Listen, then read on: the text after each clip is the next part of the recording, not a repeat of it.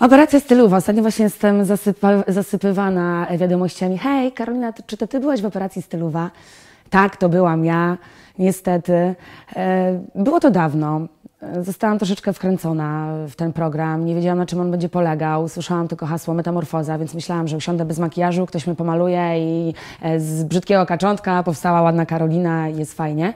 Później się okazało, że ta Karolina nie jest aż taka brzydka, więc trzeba ją szpecić. Więc nałożyli mi perukę na głowę, ubrali mnie w ciuchy, których nigdy bym w życiu na siebie nie wrzuciła. I mówię, dobra, fan, tak, mam do siebie dystans, więc już niech zostanie.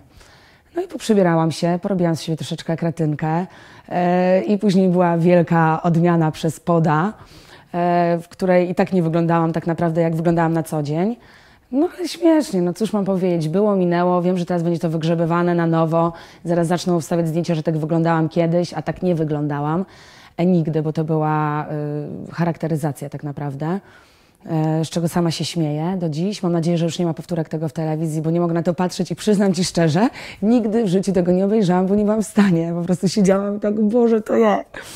No, no ale no cóż, no, trzeba się śmiać z tego teraz. No.